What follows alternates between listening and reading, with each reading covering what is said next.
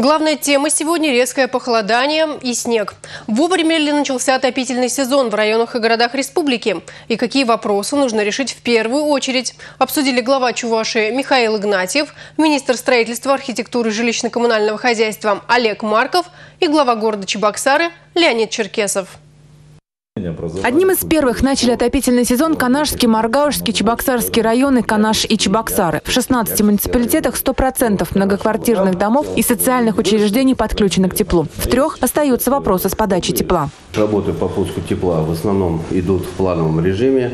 А, нормативными актами муниципальных образований отопительный сезон был начат в период с 1 по 7 октября. В течение сегодняшнего дня будет полностью а, подано тепло.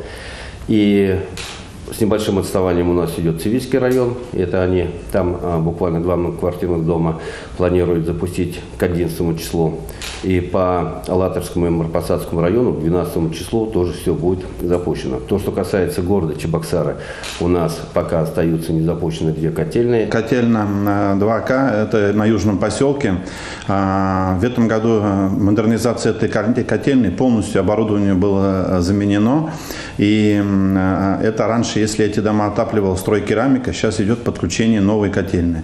Вчера врезка газа была эти, в этой котельной. И сегодня пробно, и сегодня же к концу дня, э, в течение сегодняшних суток, это тепло в этих двух домах, Сапожникова 4 и Сапожникова 5, сегодня планируют э, дать. В Батревском районе самый низкий процент подключенных к теплу многоквартирных домов и объектов социокультурной сферы – всего 75%. Все те ответственные должностные лица, сотрудники организации должны работать в круглосуточном режиме.